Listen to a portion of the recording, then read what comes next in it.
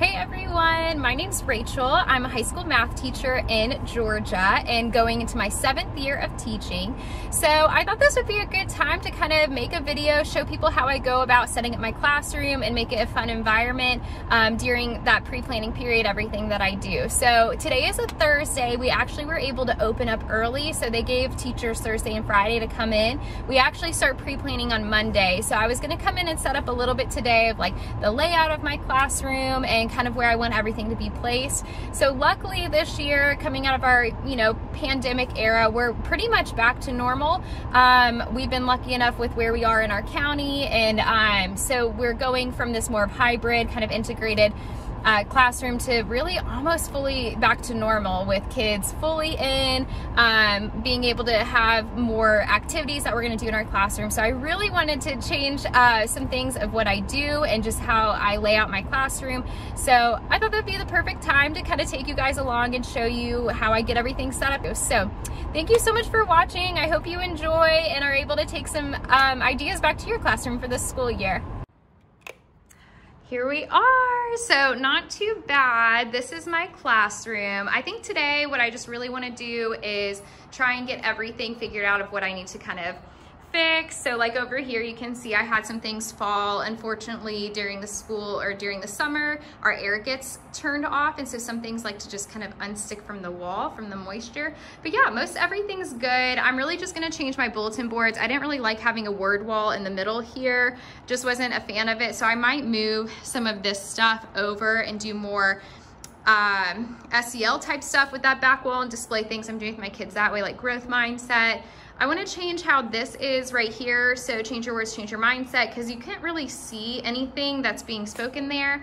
And then over here, I think today I'm just really gonna try and get all my stuff set up, like my desk and where I normally put the student center. So first thing I'm probably gonna do is just make um, a list on my board of what I wanna do each day. Normally this is where my agenda is, and so I'm just gonna use it to kind of block off what I wanna do each day. So Thursday, Friday here, and then next week is our pre-planning. So I'll kind of even get some ideas of what I wanna do there. But first, I need to get all my car unloaded. So luckily I'm by the bus lane so I can just drive my car up and then bring everything into my classroom. I'll probably just dump it all in the middle and not even worry about it today and then just try and get my desk set up the way I like. So when I come back on Monday, I'll be able to be a little bit more efficient and not have to worry about setup. I can just dive right into getting my schedule done and everything that I wanna do kind of computer paper wise next week. So yeah. Okay, items are moved in. I just wanna make a brief side note super proud of Rachel from last year. I remembered at the end of the year stuff I wanted to do. So I already wrote on the board things I wanted to do and change it for my board. So props to myself last year and the stress of the end of the year. So everything's moved in. As a side note though, most of this stuff was actually put on an Amazon list. So I had like things like lights that I wanted, more calculators, things for my classroom, markers, and all of this I put on an Amazon list and then just posted to uh, my Facebook and sent out to friends and a lot of people bought stuff. So i had almost like 150 things or 150 dollars worth of things. 150 things would be amazing. But that uh, friends and family bought for me so that was actually really nice. So if you've never done that before make an amazon list. They'll buy some things for you. People always want to know how to support you. So make an amazon list if you haven't and send it out to people. Um, little tip save you some money so I'm gonna go ahead and write down the things I wanna do for today, tomorrow, and Monday, and then work on tackling all the crazy. Okay, I also wanted to show you something, just like throw this in there because I thought this was super cute. So like I said, Amazon list, it's amazing. Anyone can buy from it. So I teach high school. So by the time my kids graduate, I teach freshmen. So it takes a while, but when they graduate, I always tell them they can, you know, add me on social media. So a couple of my students actually have social media and they saw my Facebook post. And so whenever somebody buys something off your like gift list or whatever for Amazon. I gotta find it. It's so funny. So whenever they buy something, they can leave a little note. So one of my students, for, I taught her her freshman year and she's graduated, she's in college now. She bought two calculators off of it and she left me a little note and it says, hopefully students are prepared to turn in a shoe to borrow a calculator. Okay, So super funny. I forgot I did this one year, but I started missing all these calculators because kids had never bought them on their own and they needed these types of calculators to do uh, their homework. So when I had a couple start going missing, I decided it was gonna be a rule that if they wanted to borrow a calculator, they had to give me a shoe. And all the kids complained and they were like, okay, can I give you my phone? Like that's weird. I don't wanna go without a shoe. And I kept saying, no, you can't go and give me a phone because you can walk out of here without a phone. You're not gonna walk out of here without a shoe. And so it was this big ordeal and the kids like thought it was the funniest thing but hated it. And it was so funny because whenever kids forgot to wear socks or something, they would like hop back to their chair and it was just such a big mess. And all of a sudden, what do you know? Within a week, my calculators all showed back up. So I'm just saying it works, extreme measures, but I can't, I, that was like five years ago. And she remembered, and so she bought me calculators and then left me a note that she says, I hope they're prepared to give a shoe. So fun memory, super sweet college kid buying me calculators. Love it. It's amazing. So just want to add that story in there for you.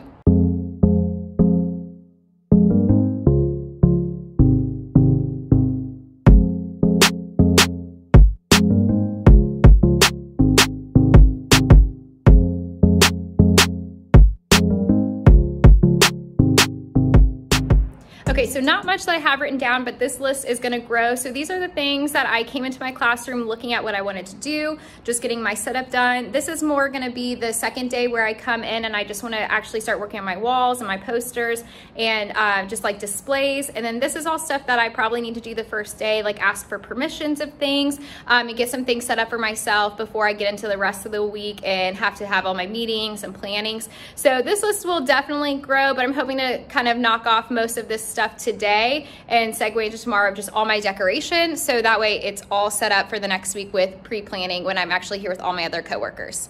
So first thing I actually want to set up this area, this is kind of like what I like to call my break room. So during the pandemic, I was never actually stopping eating to eat lunch. And so what I did is I had a chair here and put all my stuff and kind of made this like little cozy corner. So that way I like forced myself to eat lunch over here, take a break for 15 minutes and uh, kind of just get myself readjusted. So one thing I also did is I had this nice little chair that I'll put over here in just a second. So kids who were like doing really well or scored really high on tests or made big improvements, it was, was an award reward or a kind of reward for uh, good behavior so kids could kind of hang out. So you'll see once I set it up in just a second, kind of like this little cute nook that I have for myself.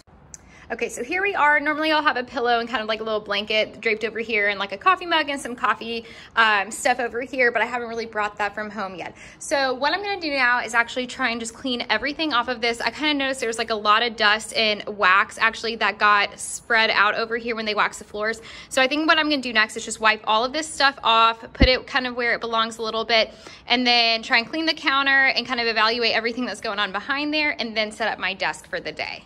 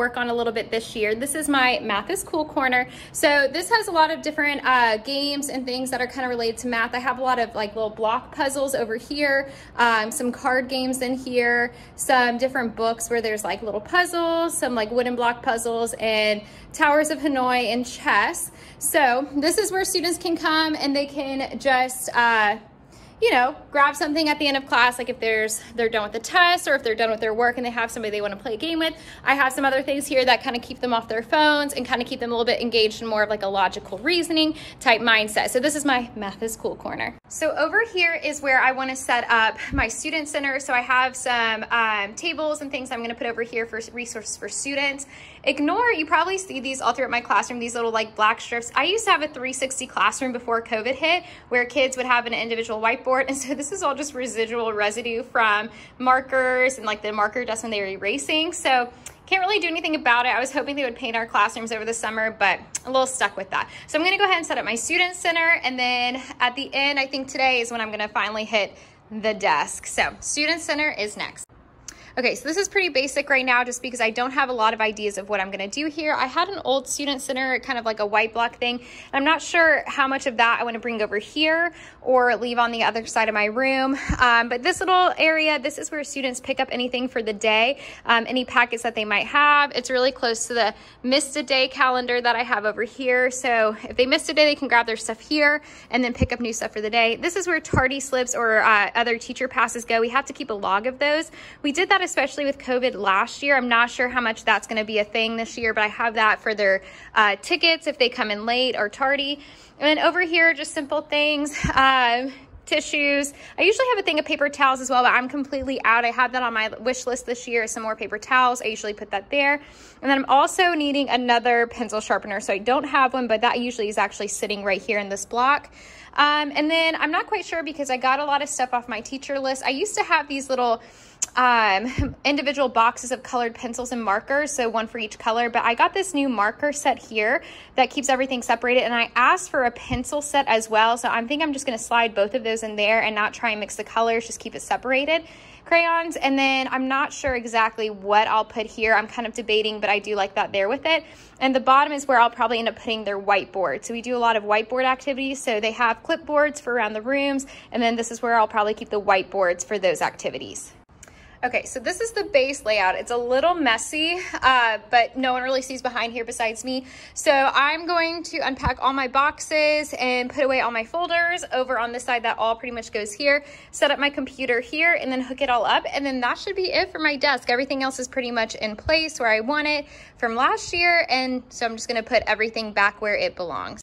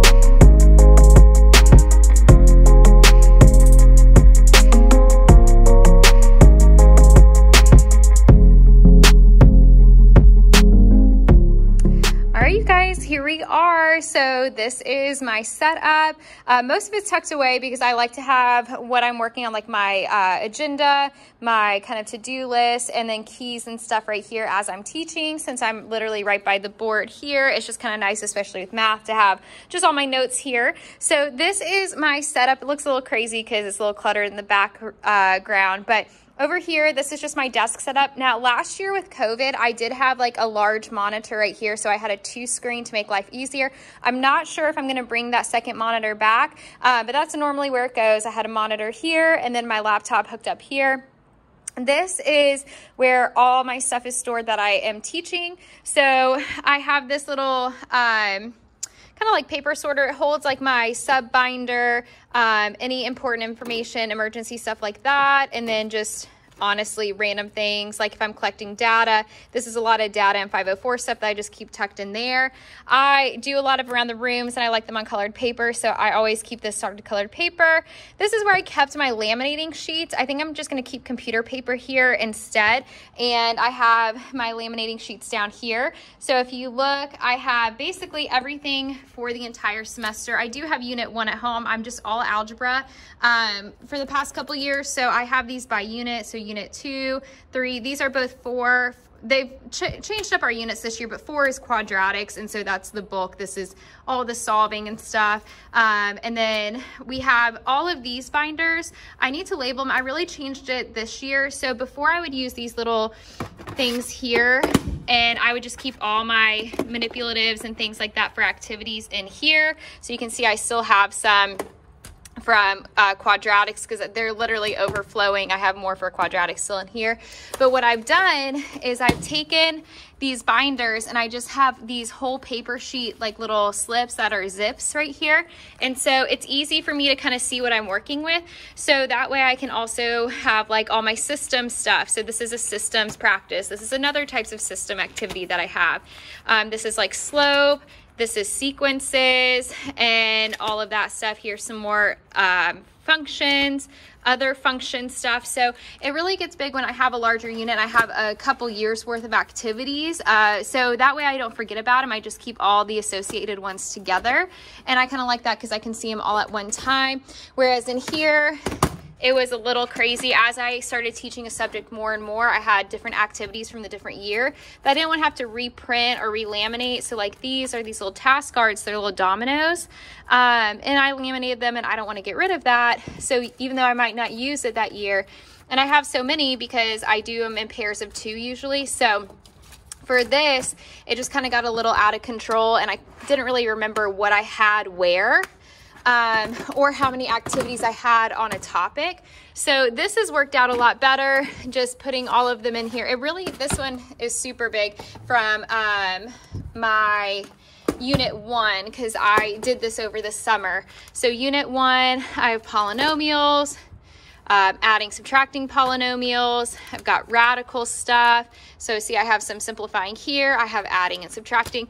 And then for me, I make a couple different sets of the task cards around the rooms. And I tell students like, 10 of you are going to be on the green cards, eight of you are going to be on the pink cards to kind of keep them separated and from going to their friend's side of the room.